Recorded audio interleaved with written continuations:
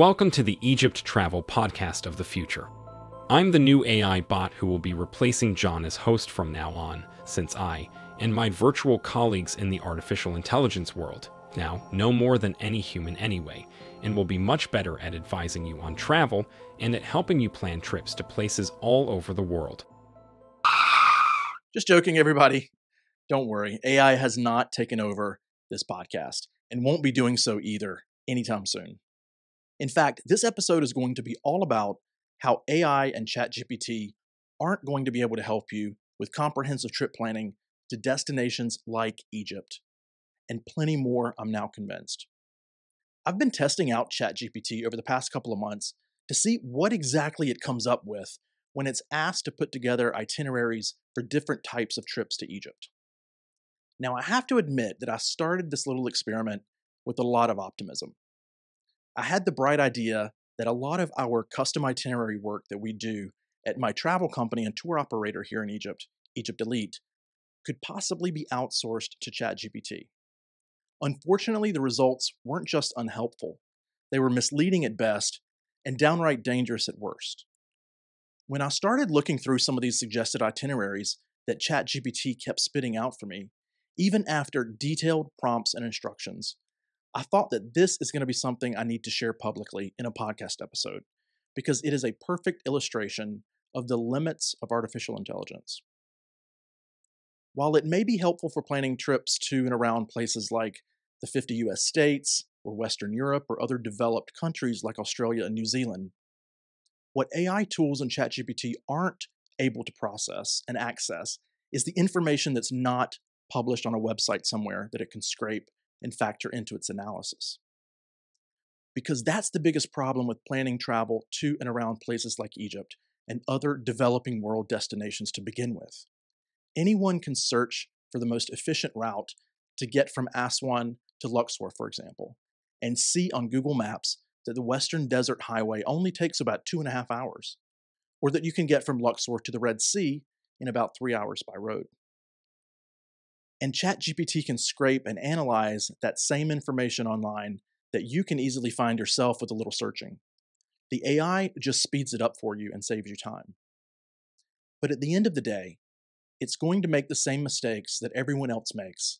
In other words, it's going to assume that what it finds online is all there is to know. And with planning travel to and around a place like Egypt, that would be a big mistake. For example, nothing online tells you, and therefore ChatGPT can't know and factor in for you, that foreigners are not allowed on the Western Desert Highway. And the minute you hit the first military checkpoint on that highway, you'll be turned around and sent straight back to Aswan. In fact, you wouldn't even make it onto that highway or to that checkpoint because no one locally would agree to take you from Aswan to Luxor on that route because everyone there just knows that foreigners are not allowed to take that shortcut highway. You know where else foreigners are not allowed to travel? On the Qena de Safaga highway after 6 p.m. That's the road that leads from Luxor to the Red Sea across the eastern desert. Does Google Maps tell you that the road closes at 6 p.m.? Nope, because it doesn't know. It only closes to foreigners then because you have to show a transit permit at the checkpoint to get onto the road, and the permit says plain as day that you're a foreigner, and foreigners are not allowed past the checkpoint after 6 p.m. for their own safety. That's not written anywhere, though, and no one will tell you that. We just all know it and we plan around it when we need to take a guest on that route and many other routes in Egypt. And everyone just knows this from experience. But you know who doesn't know that? ChatGPT, or any AI tool, because that, along with a million other unwritten rules about traveling around Egypt, are not published anywhere. These million little nuances about where you can and cannot go, how you can and can't get there, when you can go and when you can't, when you should go and when you shouldn't, and perhaps most importantly, where you should go and where you should not. These aren't written down in some neatly readable and scrapable rulebook on the internet. We know these things from personal experience, living and working and traveling in Egypt for decades, and from knowing and working with officials here on the ground in Cairo and all over the country. And honestly, these things even change in a place like Egypt. I can't tell you how many times I've had conversations with colleagues and with people who work in government And especially when it comes to the tourism ministry and the tourism police and the security apparatus here in Egypt, that goes something like this. Okay, here's the X, Y, and Z that's required for this. And then they say, oh, wait, now you need X, W, and Z. And you're like, why not Y? And they're like, well, now it's W. Oh, that changed last week. How do you know? Somebody in the ministry told you.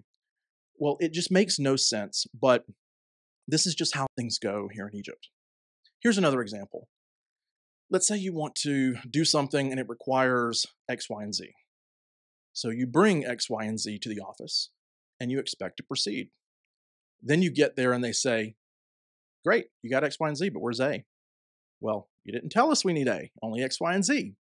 Well, you need A2. So you go get A, and then you come back and they're like, This looks great, but you're still missing B and C. So you go get B and C, you come back again. They're like, That's great, but you need M. And uh, that's all right, though. We'll let M slide. Wink, wink. This type of stuff happens in Egypt all the time. When we need a special site visit, a vehicle registered, when we're transferring ownership of something, booking some big event venue, virtually anything. This is just life in a place like Egypt. It's not specific to Egypt, it's all over the developing world. But this isn't the type of thing that AI can know, at least not it ha- until it has the ability to scan the brains of an entire population to put all of this information into its outputs. Believe me, I'm a huge fan of ChatGPT and AI. I've tested it out for a lot of things. And for example, it does a great job of summarizing Egyptian history. That information is out there. It's printed, it's online, it's readable, it's searchable, it's scrapable. There aren't a million consequential missing facts out there on some things. But when it comes to planning travel to and around the developing world, at least I've found that ChatGPT and AI have fallen flat, and potentially dangerously so too, if it's telling you to go through places that you cannot legally go to or that aren't safe for you to go to, which may have been safe before but aren't now.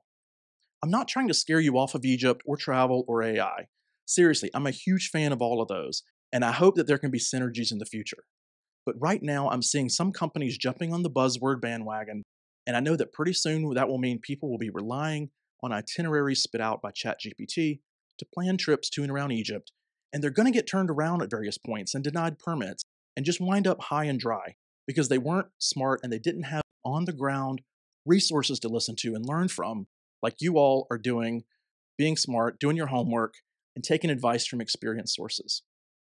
So let me run through a couple of the itineraries that ChatGPT spit out for me recently, and let me talk through what it got right and what it missed the mark on. Okay, so in this test, I gave ChatGPT the prompt that said, Pretend you are an expert on travel to Egypt and an expert on local travel, logistics, and tourism in Egypt. Create a 10 day itinerary for me as a tourist to see all the major historic and cultural sites and monuments. And here's what it spit back out for me. All right, it says, Certainly, Egypt is a fascinating country with a rich history and culture that dates back thousands of years. Here's a suggested 10 day itinerary that covers all of the major historic cultural sites and monuments in the country. Okay, let's run through this. Day one, Cairo. Pretty normal. Everybody, most people start in Cairo. Arrive in Cairo and check into your hotel. Visit the Egyptian Museum of Antiquities to see the treasures of Tutankhamun and other important artifacts from ancient Egypt. Take a long walking tour of historic Islamic Cairo, uh, including the citadel of Saladin and Al Azhar Mosque. Okay, um, not bad for a first day. Most people want to see the pyramids on the first day. Um, in fact, I'd say 95% of people go to the pyramids on their first full day in Egypt. This itinerary assumes that you're going to arrive in the morning. Uh, you can only do touring if you arrive, if your flight lands in the morning, because remember, the sites are going to close about 5 o'clock. So if your flight arrived at 1, 2, 3 p.m., this itinerary is already crap because you won't make it to the Museum of Egyptian Antiquities uh, or the Citadel of Saladin by 5 p.m. or 3 or 4 p.m. to give you enough time to actually be in there. You could now take the Islamic Cairo part uh, and Al Azhar Mosque could fit on that first day, even if you have an afternoon flight landing. because those are evening things. They're uh, Old Cairo is a neighborhood. You could walk through it in the evening. In fact, it's preferable to walk through in the evening because the lights are on. Um, the people are buzzing, people are out. Uh, you can't go in Al Azhar Mosque that late, but uh, you can see it from the outside, so that's fine. Okay, so that's day one. I wouldn't do it that way, but that's what it's telling you to do. Uh, it says day two, Cairo and Giza. Visit the Great Pyramids of Giza. Uh, by the way, there are no Great Pyramids of Giza. There is a Great Pyramid of Giza. The Great Pyramid is the wonder of the ancient world. That's the Pyramid of Khufu, the biggest one. But it says visit the Great Pyramids of Giza uh, and the Sphinx, some of the most iconic landmarks in Egypt. Explore the ancient ruins of Memphis, the former capital of Egypt. Take a sunset camel ride through the Sahara Desert. Okay. Visit the pyramids, great. Sphinx, great. They're co-located. Uh, I wouldn't do it again on my second day. I do it on my first day, but not a big deal. However, the fact that it recommends Memphis as a secondary site is really weird. I'd say Memphis would be the fourth thing on an itinerary out in Giza after Giza, Saqqara, and Dashur. And by the way, when I say Giza, I'm talking about the governorate. Um, the pyramids are also in Giza, right outside of the city of Giza. So the things that I would prioritize out in Giza are the pyramids, Saqqara, the necropolis, and Dashur, where the red and bent pyramid are. Memphis would be at least fourth, if not fifth or sixth, but ChatGPT is recommending the pyramids in Memphis. Okay. It's also saying take a sunset camel ride after that through the Sahara Desert. You're not going to be able to do that. Um, you can take camel rides in the pyramids compound, you can take them immediately outside of the pyramids compound. You're not going to find camels down in Memphis to take, and you're certainly not going to be allowed to take them out into the Sahara Desert. The desert around Saqqara, Dashur, and Memphis is a military zone, and you're quickly going to get intercepted by the military if you try to sashay on a camel out into the desert out there. That's all military land. But ChatGPT is telling you to do it, so okay. It says day three, Luxor. Take an early morning flight to Luxor. Visit the Karnak Temple Complex. Okay, that's Karnak, which is the largest temple, one of the largest temple complexes in the world. That's true. Explore the Valley of the Kings, where many pharaohs were buried. That's true, but I wouldn't do those. Let's see, does it give you? Okay, so it's given you two days in Luxor. The next day is Luxor also. But if you have two days in Luxor, why are you going to cram East and West Bank into one day? All of the tombs are on the West Bank side. There's more than just the Valley of the Kings. The temples are on the East Bank side. There's more than just Karnak. So I don't know why you would just go to Karnak and Valley of the Kings in the same day when you have two days in Luxor. We usually split Luxor for those who have two days, and almost everyone does, into an East Bank day and a West Bank day. You're making a lot, you're covering a lot of extra terrain if you are going over to the West Bank, back to the East Bank to your hotel, then back to the West Bank, then back to the East Bank. It's just unnecessary. Um, so if you have two days in Luxor, there's no reason to cram everything into a joint East Bank West Bank day. Uh, on its day four, second day in Luxor, it says visit Luxor Temple, which was dedicated to the god Amun and is one of the best preserved temples in Egypt. Um, yeah, it's one of them. Then it says take a hot air balloon ride over the Nile and the Valley of the Kings. Okay. Again, the hot air balloons are done from the West Bank. Luxor Temple is on the East Bank. So two days in a row here, it has you going West Bank, East Bank, West Bank, East Bank. Uh, that's a lot of unnecessary back and forth, back and forth. Um, everybody does an East Bank day and a West Bank day. This makes no sense. Also, if you go to Luxor Temple, and then you try to take you can't take a hot air balloon ride after Luxor Temple. The hot air balloon rides are done in the morning. They're done at sunrise. They're strictly strictly regulated as to the times they can occur. Uh, most companies are allowed two to three flights a day. They all have to occur in the morning, and that's for safety reasons. If the temperature gets too hot, it's too dangerous to fly hot air balloons. And so the government makes them do them in certain hours of the morning, before the sunrise usually, or right after the sunrise. And um, if you try to go to Luxor Temple and then do a hot air balloon, first of all, you're not going to find a hot air balloon. Um, because they don't take off that late. And then if you did find some rogue balloon that was taken off that late, run because it's going to be dangerous to take it. That's why the government doesn't let them occur, doesn't let the flights occur later in the day. ChatGPT says to do it. So, okay, day five, Aswan. It says take a morning train to Aswan. Hmm, not a bad idea, especially now that they have the new uh, Talgo trains in Egypt. Those are really nice and luxurious. Train rides between Luxor and Aswan are no longer jank. Uh, it's actually not a bad idea these days. Uh, when you get to Aswan, it says visit Philae Temple, which was dedicated to the goddess Isis and was moved to its current location to avoid being flooded by the Aswan High Dam. That is true. Take a felucca, traditional wooden boat, ride on the Nile River at sunset. I have no problem with that day. That's all good. Take a morning train to Aswan, perfectly fine. When you get there, visit Philae Temple. That is probably the number one thing to visit in the city of Aswan. Um, then later, a, a Felucca sunset ride on the Nile is exactly what I recommend. I don't actually, well, if you want to do a Felucca ride, Aswan and Luxor are the places to do it, but I would always have people do it in Luxor. There's a lot of reasons for that. But the second best option is Aswan. If you can't do it in Luxor, if you don't have time, um, Aswan's okay, but I would do it in Luxor, and there are reasons for that. Uh, day six, Abu Simbel. It says take a day trip to Abu Simbel to see the massive rock cut temples of Ramses II and his queen. Return to Aswan in the evening. Okay, uh, you cannot return to Aswan in the evening. Um, it doesn't suggest. It doesn't say here if you're going by road or by air. So you'd have to book uh, plane tickets in advance, certainly. But even if you're going by road, you have to get a special permit to go to Abu Simbel by road at least 48 hours in advance. You can't just show up and say, I want to go to Abu Simbel tomorrow, or I want to go to Abu Simbel today, and be allowed to go. You have to have a special permit to make the road trip there if you're going by road at least 48 hours in advance. ChatGPT doesn't know that because it's not published anywhere. Um, and then it says return to Aswan in the evening. You can't do that. Um, the checkpoint back to Aswan closes, like on the road back to Aswan, closes at 4 p.m. You have to be past the checkpoint by 4 p.m. Otherwise, you have to spend the night in Abu Simbel.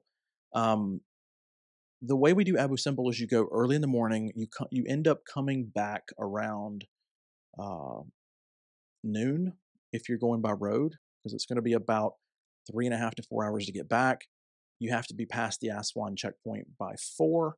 Uh, so you want to leave some time in case you need to stop for the bathroom or something slows you down.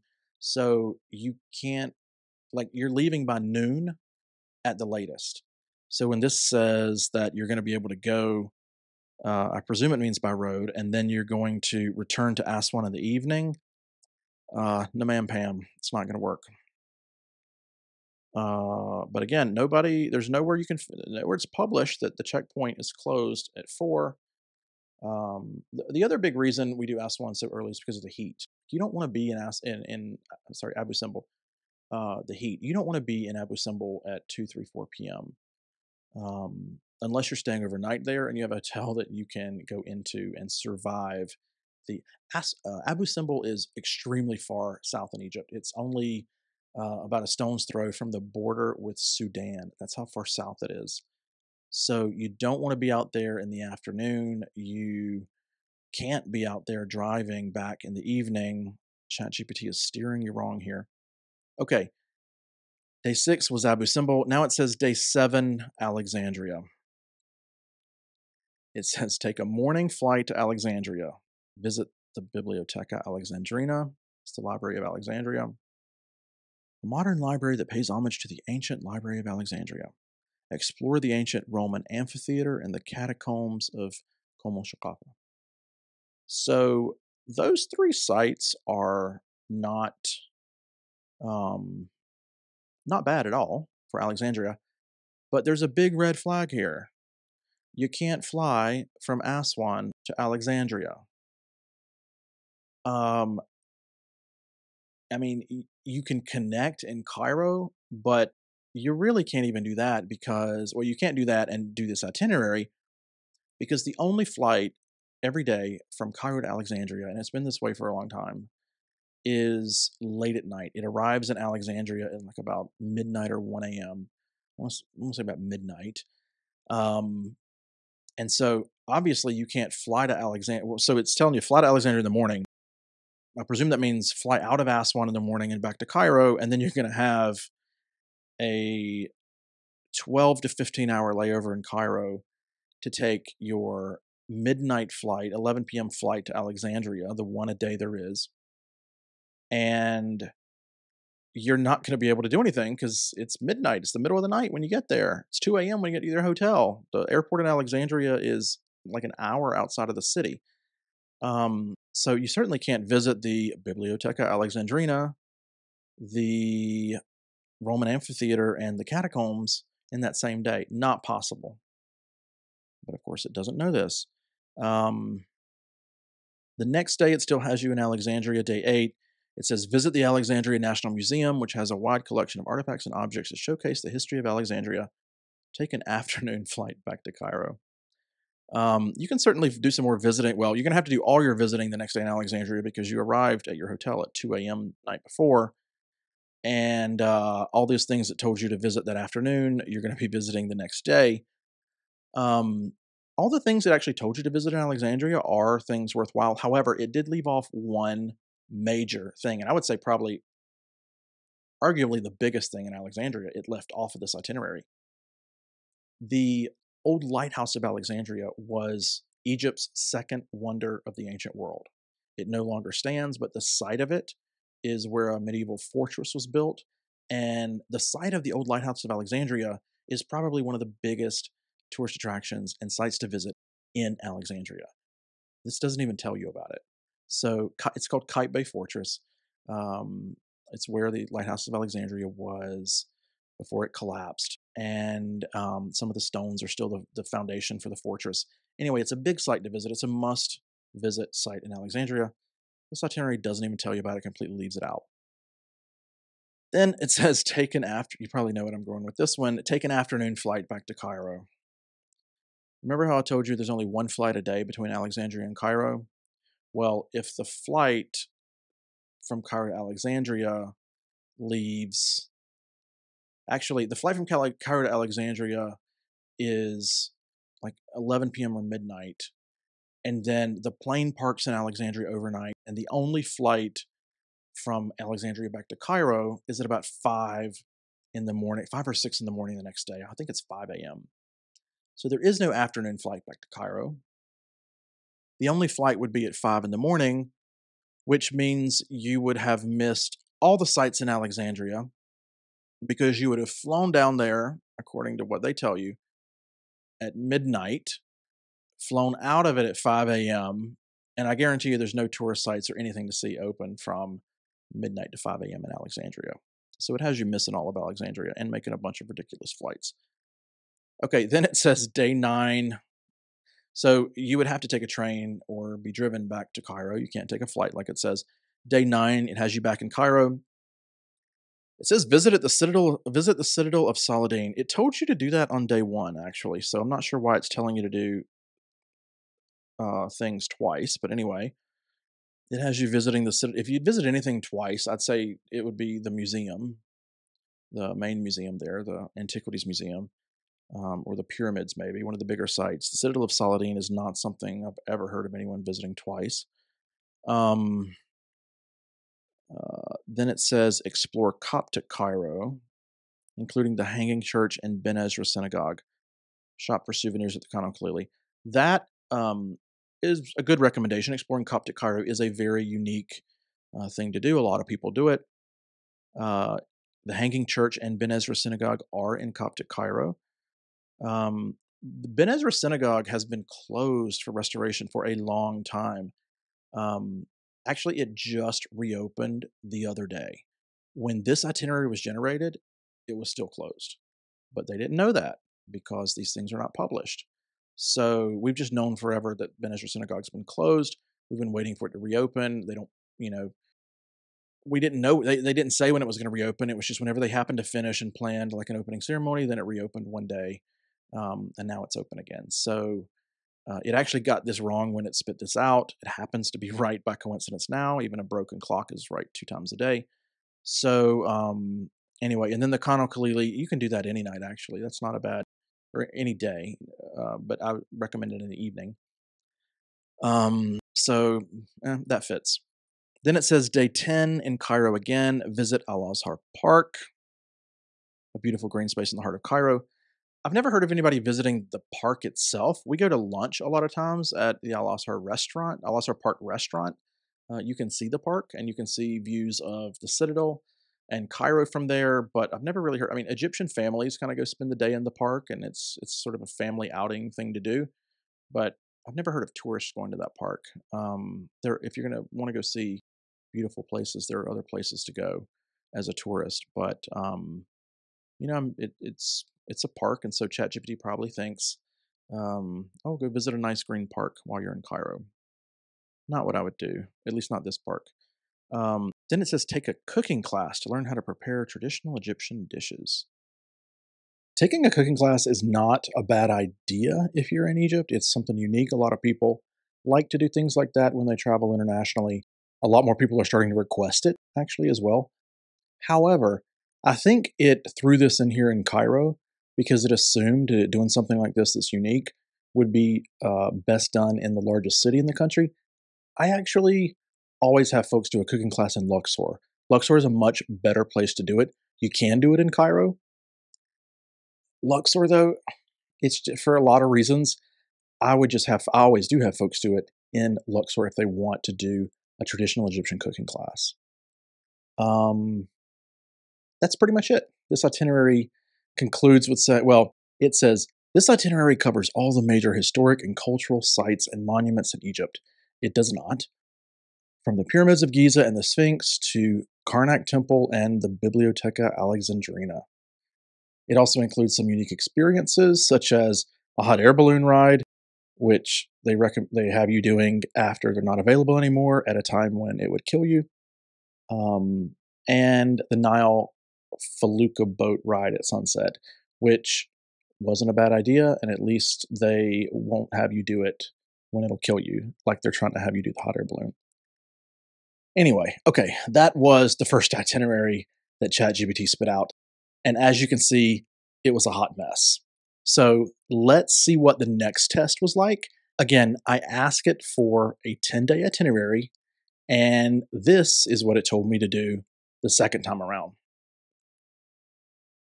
Okay, day one arrival in Cairo. Uh, let's see, it says arrive in Cairo, check into your hotel, spend the afternoon exploring the vibrant Khan el-Khalili market. In the evening, enjoy a dinner cruise on the Nile River. Oh boy. Okay, first of all, this is assuming that you're arriving in the morning or early afternoon. If you arrive late in the evening, you're not going to be able to do anything. You could do the Khan el-Khalili. Most people are really tired. The Khalili is one of the few things that you can do late because it's not a site that closes at a certain hour. It's an outdoor market that's really almost open 24 hours. So you could do that on your first night if you want to. We normally have people do it at the end of their Cairo stay for a variety of reasons. But I mean, there's nothing wrong with doing it on your first night. Um, okay, now dinner cruise and no, no, no, no, no, no. Don't do a Nile dinner cruise in Cairo. The boats that do them are nasty. They're big, mass market, cheap package holiday type experiences. I mean, you most of them you smell gasoline and diesel from the engine. I've literally seen cockroaches on some of these boats. I mean, I'm not kidding, like actual cockroaches on the boats crawling around in the dining room. Um, yeah, I've just never met a Cairo Nile dinner cruise that I liked, and I've seen a lot of them. So that's never something I recommend. I never put anybody on those boats. I never recommend anybody take those boats. The the Nile uh, dinner cruise boats in Cairo, I'm talking about. The only thing I would do that's some, somewhat related to that is I have chartered a smaller boat for folks sometimes to do a private dinner on a private boat. Um, they're boats that I know that I know are nice. We know the owners. We know where the food is coming from, and so if you want a Nile dinner cruise in Cairo, talk to me about how to make that happen because the charter boat because do not go on one of those big mass market, nasty jank now dinner cruise boats in Cairo. Okay, let's see. It has day two, pyramids of Giza and Cairo tour. Hmm. All right, visit the pyramids of Giza and the Sphinx. Explore the ancient capital of Memphis and the necropolis of Saqqara. At least it got that in there this time. Visit the Egyptian Museum in the afternoon and see the ancient artifact. No, no, no. Okay. Uh, where do I begin? First of all, what I like to do and what we always do if we can is split the pyramids, and I'm, I'm saying pyramids plural, as in pyramid sites, Giza, Saqqara, Dashur. We, spl- we split the pyramid sites into two different days, time permitting. If somebody needs to go see all those sites in one day, we can do it, but it's not preferable. Um, because three sites in one day out in Western Giza is a long day, and you just don't have as much time at these sites as you really want and that we want you to have. And so we really push folks to split pyramids. If you want to see more than just the Giza pyramids uh, out in Giza, split them into two days. Take your time, enjoy it, go at a leisurely pace. Don't be rushed. Don't feel like you are going to have regrets or you've missed something or you had to rush through something. This has you going to three sites. And the interesting thing, again, is they have you going to Memphis uh, as the third site. I would not go to Memphis. I would go to Dashur. But if you, mean, if you want to go to Memphis, do it on like a third day. Um, Memphis is just not a top site, but they think it is. So it has you going to the Giza pyramids, Memphis, Saqqara, which Saqqara is a huge site. And all of that must be in the morning because then they say visit the Egyptian Museum in the afternoon to see ancient artifacts, including King Tut's treasures. No, it's not possible. They're not obviously realizing the distances between these sites. Um, and also how much is at these sites. Memphis is a quick site. Maybe that's why they keep throwing it in, but it's actually really far south. Like it takes a long time to get there. Saqqara is, it takes a long time to get there too. It's a huge site. The Giza pyramids and Sphinx, I mean, that's where you want to spend most of your time. That's the thing you came to Egypt for uh, doing cramming all of that into a morning that's just beyond ridiculous and then expecting you're going to have time to go see the egyptian museum in the afternoon no that's not going to happen not going to happen you try to do it you're going to wind up bumping up against the closing time you're going to not get to go to the egyptian museum you're going to rush through the pyramids you're going to rush through saqqara you're going to be disappointed at memphis you're going to get to the egyptian museum and realize it's closed or closing in a few minutes by the time you get there Keep in mind, these sites close usually about 5 o'clock. So this day is a hot mess. Day three, it says Luxor. Take an early morning flight to Luxor. Actually, that it got right. Most days, there are many flights to Luxor from Cairo and Aswan, uh, Cairo to Aswan, all day long. Now, if you go look right now for flights in September, October, November, they're likely going to only be two or three because that's starting high season and they tend to book up really far in advance, like six to eight months in advance. If you go look now, you might only have two or three flights available. Um, you might only have evening flights or super, super early morning flights.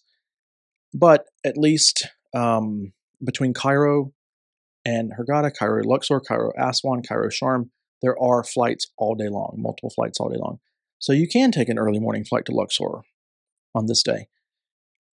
Visit Karnak Temple, and explore Luxor Temple in the evening, beautifully illuminated at night. Okay, well, at least it got one thing right about this day. You should visit Luxor Temple and Karnak Temple in the same day. They're both on the East Bank, they're co located on the same side of the river. Uh, that is an efficient use of time and efficient routing, and they're both worth seeing. Now, if you try to go to Luxor Temple at night, you're not going to get in. Yes, it is illuminated at night. Yes, it is open late. But by late, we mean instead of closing at 5, it closes at 7. Yes, the lights stay on after that, but just because the lights are on inside doesn't mean the temple is open to go into. It is open late, so this can get a bit confusing because people think, oh, it's open late. Oh, the lights are on even later. Um, yeah, you can go at night. You can go walk around it from the outside at night, but if you try to go to Luxor Temple and go inside of it and visit it at night, you're going to be disappointed because it's going to be closed you're going to be only be able to see the lights on from the outside of the temple as you walk around the perimeter, the outside wall. So again, um, they seem not to know that. Um, West bank of the Nile on day four. Valley of the Kings, Valley of the Queens, Hatshepsut's Temple, Colossi of Memnon, Sunset for Felucca They actually got this day pretty spot on. Um, these are the top three things, unlike the previous itinerary. These are the top three things to see in Luxor on the West Bank Valley of the Kings, uh, Hatshepsut's Temple, Colossi of Memnon. And then a lot of people do go see Valley of the Queens also because you have uh, Nefertari's tomb in there as well, which is a spectacular tomb. It's expensive to get in, the ticket's expensive, but we always uh, send our folks there and pay for it because it's worth it to go see it. Um, next day it says Aswan. Okay. Travel by train or car and check into your hotel.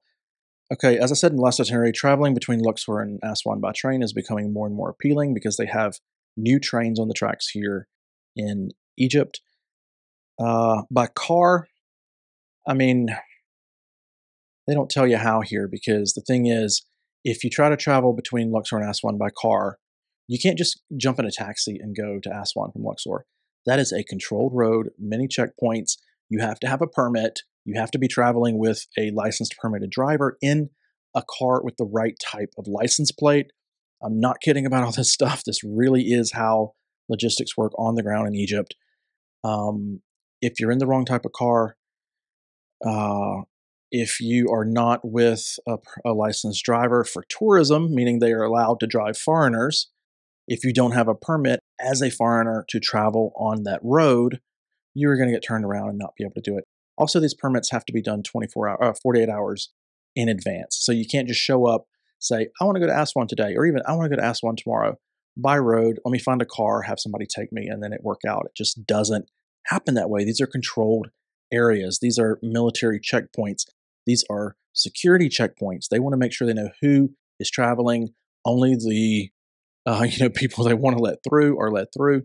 You have to have a permit to go on a lot of these roads, especially in the south of Egypt. So, I mean, they don't go into detail here, obviously, but you know, just saying, oh, travel to Aswan by car, uh, you'd have that would have to be arranged in advance with the right permits. It says then visit Philae Temple in the High Dam and explore the Nubian Museum. Okay, Philae Temple, as I've said, is the number one site in Aswan itself to visit. Good to go there. The Aswan High Dam, no. Um, you'll see this one on a lot of lists, okay? A lot of people do say it's one of the top two or three sites in Aswan to go see. It's honestly because there's not a lot in Aswan to go see. They're kind of, you know, filling out the list. The Aswan High Dam is an important site for Egyptians. It's historically important. It really um, changed the landscape uh, for Egyptians logistically in a lot of ways. I'm not going to go into that now, but it's important to them. They like to boast about it. They're proud of it. Um, a foreigner, especially from the West, you're not going to be impressed by it. I mean, I'm just being honest. I wouldn't waste my time. Uh, it's not scenic. It's, I mean, it's just a concrete, low. It's called the high dam, but it's pretty low by our standards. Um, dam with a road on top. It's just nothing special. So a lot of people go to it and they're kind of like, uh, this is it. Egyptians are proud of it, but you know, I'm being honest about uh, tourists, foreigners visiting Egypt, and that's just the reality of some things. Um, the Nubian Museum, it also says, now that is uh, something that I recommend. It's a small museum, but it's unique and nice and modern.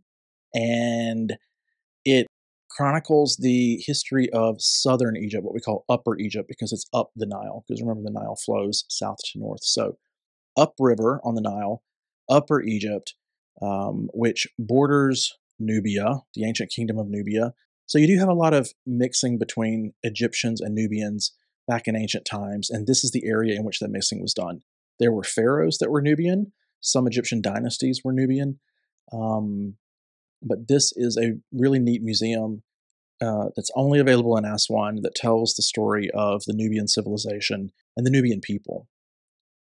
Now, it does say also experience the local culture and traditions. I think it's talking about Nubian local culture and traditions. This is where it's worth it to say a lot of people, well, you'll see on lists as well on the internet, a lot of people will tell you if they've been here once uh, to go see the Nubian village.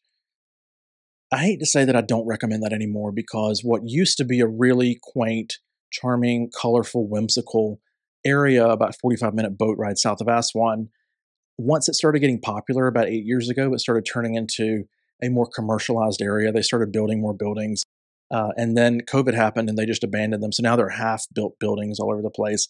Uh, there's camel crap and donkey crap all over the streets because um, they like to bring camels out there and donkeys to make the tourists ride them and get extra money. They've thrown up touristy, trinkety kiosks all over the little village, and um, they're blocking a lot of the colorful, whimsical walls and doors that made that village so unique and worth the 45 minute boat ride down there. So I don't recommend the Nubian Village anymore. That's unfortunate because I really used to like it and I would love to be able to recommend it again.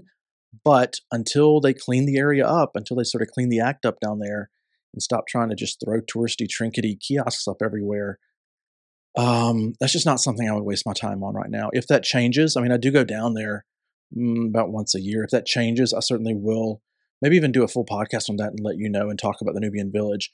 But for now, the Nubian Village, I just don't recommend taking time out of your schedule to go see. Then, let's see. Abu Simbel. Okay. Take an early morning flight to. Uh, mm, it's problematic. I'll tell you why. Take an early morning flight to Abu Simbel, home to the impressive temples of Ramses II. Yes. Um, enjoy an afternoon at leisure in Aswan. Uh, relax on the Nile. Visit local markets. Blah blah blah. Okay, here's the thing about early morning flights to Abu Simbel. They're often canceled. Egypt Air has two flights a day from Aswan to Abu Simbel, and a lot of times that earlier flight does, or one of the flights doesn't book up, so they'll consolidate everybody onto the later flight. Now, here's why that's problematic. Well, number one, because they don't tell you this is likely going to happen. It happens a lot. But the other reason is because if you only have one day in Aswan and you plan, you, you book that early flight, the 8 a.m. flight, so you're back by about like noonish, so that you can spend the afternoon in Aswan doing other things like seeing Philae, the Nubian Museum, and then they cancel that early morning flight and put you on the later flight, you're not going to get back to Aswan until about 3. If the plane's a little bit delayed, 3.15, 3.30, that you're getting out of the airport. So you're not going to have time to go to Philae. The, the boat dock to Philae closes at 4 o'clock. So you're not going to be able to get on the boat and go to Philae um, if you have an early morning flight to Aswan and it's canceled and you're put on the later flight. That happens more than I wish it did. Um, but it's just a reality of dealing with logistics in Aswan and Abu Simbel. Again, that's not something, you know, Egypt Air is not going to tell you we often cancel this flight. It's just something that we know from experience because we deal with a lot of Abu Simbel rescheduled flights. So, um, again, if you're doing Abu Simbel with the early morning flight, hope it works out. Nile, cru- Nile cruise for two days. Okay, this is not realistic. So they have you going on a big mass market Nile cruise boat, which I don't recommend. I recommend Dahabiyas. I'll do a whole other uh, podcast on Dahabiyas because they're unique to Egypt. If you've never been to Egypt, you probably never heard of them, but that's how you should do a Nile cruise. I'll explain that in a future podcast. This has you doing one of the big mass market boats and only two nights. I've never heard of a two night Nile cruise on those big boats or even on a Dahabiya, but uh, okay. So I hope you didn't book a ticket home after that because you're probably not going to find a two night cruise. Um, if you do, it's like a rare one off thing. And oh, goodness. Okay. After this Phantom two night cruise that doesn't exist, they have you doing Luxor in one day. And it gets worse. Okay. First of all, you do Luxor time permitting, you do Luxor in two days. That's the ideal. You do an East Bank day and a West Bank day. The temples on the East Bank, the tombs on the West Bank. Um, there, there's a way, there's a there's a routing, an ideal routing for doing Luxor, but you really need to split it over two days. Occasionally, people only have one day, and we have to do Luxor in one day, the East Bank day and West Bank day crammed into one. Usually, those are folks coming over from the Red Sea on a day trip to Luxor. But if you are flying to Luxor, if you're taking a boat into Luxor, uh, splitting the West Bank Day and the East Bank Day over two days is definitely the ideal way to go. Now, on the West Bank, it's the tombs, you know, like I said, the Valley of the Kings, Valley of the Queens, um, the mortuary temple of Queen Hatshepsut. On the East Bank, it's going to be Karnak Temple, Luxor Temple, the big things to see. This itinerary doesn't have you seeing any of that. In the one day, they have you cram all of Luxor in, East Bank and West Bank. They don't even have you go see any of those top sites. Incredible. They they have you going to see Medina Habu and Ramesseum, like the 9th and 10th, 15th, 16th, maybe site down the list that I would go see if I had one day in Luxor. Anyway, there you have it, folks. Then it says depart from Luxor Airport with memories and photos last a lifetime. You're going to have memories of all the places you didn't get to see and you regret following this itinerary uh, on, and photos of tertiary sites that, uh, I mean, folks, seriously. If this is what ChatGPT is spitting out when it comes to itineraries to destinations like Egypt, um, I don't know what to tell you. I mean, don't rely on it. Don't trust uh, your trip of a lifetime that you know is you know, you know Egypt's a complicated destination. You know it has some complicated logistics. You know it requires research and due diligence. Um, this is just not a resource that honestly I can recommend folks follow, even generally. I mean, if this were if we ask it for an itinerary for London or Paris, it's going to give you, you know, some some top sites. It's going to give you some interesting cafes that are talked about a lot on the internet and therefore probably the most popular. It may give you some some uh, detailed routes. Uh, it may give you some train times and things like that that you can incorporate into the schedule. All that stuff is published out there. It's on the internet. It's scrapable for AI and chatbots to pick up on and analyze and incorporate it into the outputs it gives to you and its recommendations. This is just not the case for the landscape in a place like Egypt. So again, think about the quality of the inputs out there and that's going to affect the quality of the outputs of tools like ChatGPT and AI tools uh, for travel planning. That's just my two cents. So there you have it, folks. Straight from the advanced chatbot's mouth. As you can see, artificial bots may be able to string together lists of sites that are near each other in the West, in the US, but it's not going to be the case for Egypt. The bots can scrape the internet and read all of that and incorporate it into what it recommends. But the fact remains that it's just not the case in developing countries that this information is out there and available and scrapable. Or if it is, it could be outdated. That's the case with Egypt as well. There's a lot of outdated information out there. The ministries don't necessarily have the capacity to keep up, to keep their websites updated uh, to keep putting the you know changing times, changing requirements, changing conditions, uh, things like that out there. You know, there's a lot of travel blogger content out there, but these are people who've been to Egypt once and they write about it, and then things change. I'm actually going to be doing another episode on money where I've seen this happen, where some travel blogger will write about, you know, oh yeah, pay this amount to go to the airport. This amount should be for a taxi. This amount should be for this. But that might have been three or four years ago. I mean, just to clue you in a little bit, the pound, the Egyptian pound, changed uh, three times last year, I think. So, um, and and not for the better.